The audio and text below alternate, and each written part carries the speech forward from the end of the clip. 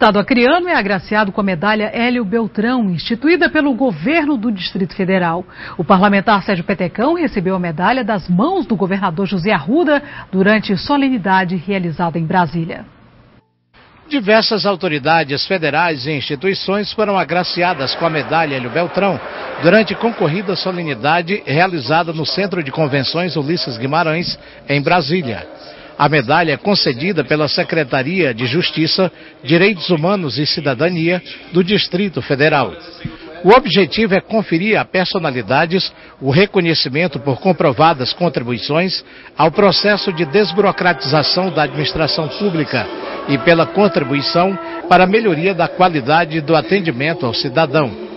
O deputado Sérgio Petecão foi o único parlamentar da bancada federal do Acre agraciado com a medalha Hélio Beltrão, cuja outorga foi entregue pessoalmente pelo governador do Distrito Federal, José Roberto Arruda.